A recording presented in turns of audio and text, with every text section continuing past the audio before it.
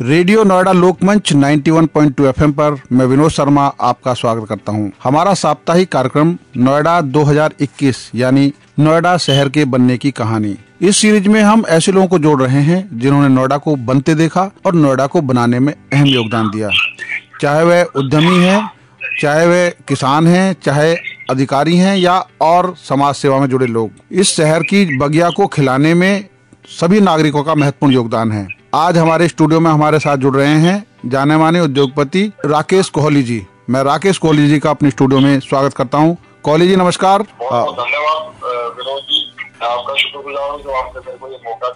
धन्यवाद। मैं कोहली जी एक चीज़ पूछना चाहता हूँ कि आप नोएडा में पहली बार कब आए और नोएडा का नाम पहली बार कब सुना? जब आए तो नोएडा को कैसा देखा?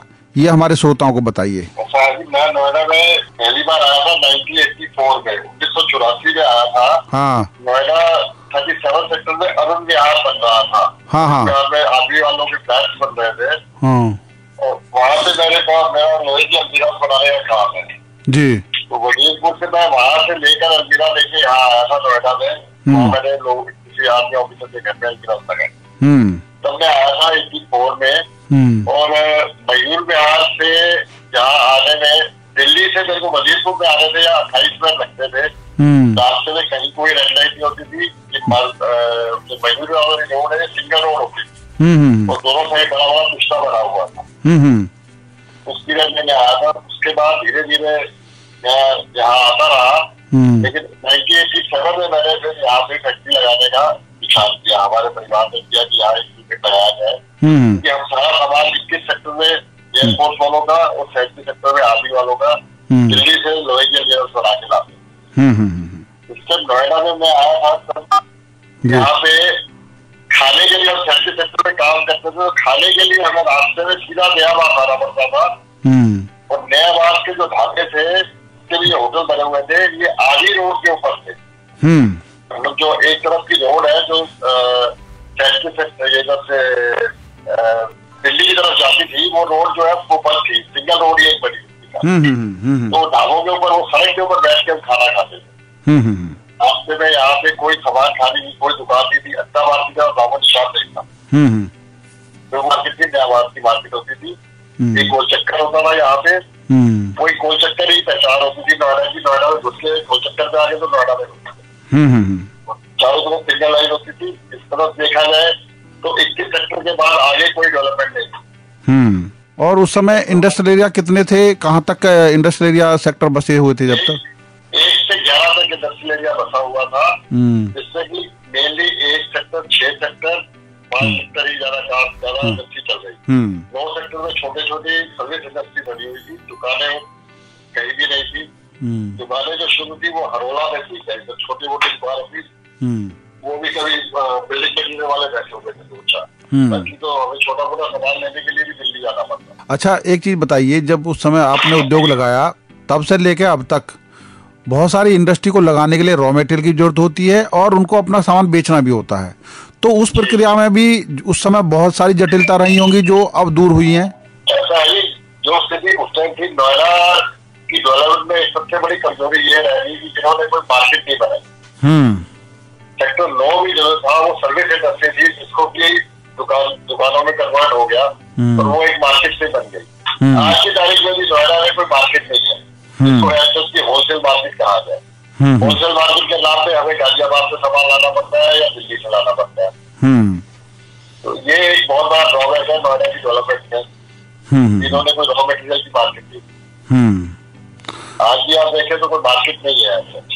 बिल्कुल बिल्कुल बिल्कुल। तो जो नोएडा को उस समय जो आपने इंडस्ट्री लगाई उस समय जो इंडस्ट्री लगाने की जो प्रक्रिया थी वो और आज जो प्रक्रिया है उसमें कोई अंतर आया है? मतलब आसान हुई है या जटिल हुई है? थोड़ा किस तरह का आप बदलाव देख रहे हो? हाँ, अब तो अब तो आसान है थोड़ा सा। हाँ। बिकॉज़ सब कुछ ऑनलाइन हो गया इसलिए आसान है। हम्म। और दूसरी तरफ़ जहाँ तक इंडस्ट्री की बात है नोएडा अथॉरिटी का ध्यान इंडस्ट्री की तरफ़ रहा ही नहीं। हम्म। इंडस्ट्री तो अपने आप डेवलप उस टाइम तो नोएडा अथॉरिटी को भी हमारी ज़रूरत थी हमें भी नोएडा अथॉरिटी की ज़रूरत थी। हम्म। आज की तारीख में नोएडा का ध्यान जो है नोएडा अथॉरिटी का ध्यान हम्म। वो दूसरी तरफ़ कन्वर्ट हो गया या तो कमर्शियल कल की तरफ़ या बिल्डर्स की तरफ़ हो गया फ्लैट वगैरह बनाने की तरफ़ हो गया। हम्म। तो इस वजह से इंडस्ट्री तो अपने आप अपने आप ही चल रही है। हम्म। अब अगर आप कुछ नोएडा से एक्सपेक्ट करें कि नोएडा नोएडा आपको कोई फैसिलिटी देगी तो हम्म। ऐसा कुछ नहीं। अब 45 साल नोएडा को होने जा रहे हैं इतना लंबा सफ़र हो गया है इस शहर में आज भी लोग कुछ ज़रूरी चीज़ों पर बात करते हैं चाहे वो पानी है चाहे वो बिजली है चाहे वो पब्लिक ट्रांसपोर्ट सिस्टम है। इन तीनों पर आपकी क्या राय है?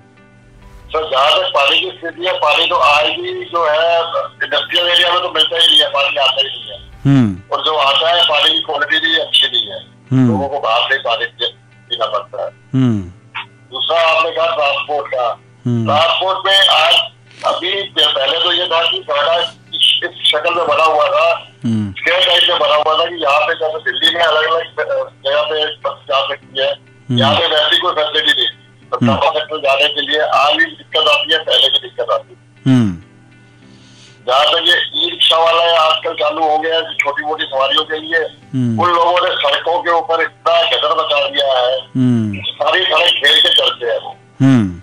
मैं तो ये कहता हूँ कि उनके लिए स्पेशल एक अलग से पहले तो उनको शिक्षित किया जाना चाहिए जो ये ई रिक्शा चला रहे हैं। हम्म। क्योंकि आप ये देखिए कि आपकी वेंडर जैसे क्रॉस करते हैं तो वो आपके साथ रेस हो जाते हैं। हम्म। सेंट्रल में वो चलते हैं। हम्म। इससे एक्सीडेंट का हमेशा खतरा बना रहता है और दूसरा जान की स्थिति रहती है। हम्म। जो ट्रैफ़िक चलता है। हम्म। सिर्फ़ वो ई रिक्शे वालों। हम्म हम्म बाकी ट्रैफ़िक मैनेजमेंट जो है वो थोड़ा बेटर हुआ पहले से। हम्म। आज ट्रैफ़िक पुलिस भी दिखती है। हमें पुलिस का भी बंदोबस्त थोड़ा सा ठीक है अच्छा है। हम्म तो तीसरी चीज़ आप क्या कह रहे थे जी? हम्म। लॉ एंड ऑर्डर भी ठीक है। हम्म। अच्छा कोई चीज़ आपके दिमाग में ऐसी है जो आपको लगता है कि नोएडा शहर में ये चीज़ होनी चाहिए जो अभी भी नहीं है? हो मार्केटिंग तो यहाँ मार्केट की ज़रूरत है होलसेल मार्केट होनी चाहिए ताकि हम आज की तारीख में भी जो मार्केट है उसके लिए मैं आपसे पहले ही कह सकता हूँ या तो हमें गाजियाबाद जाना पड़ता है या दिल्ली जाना पड़ता है।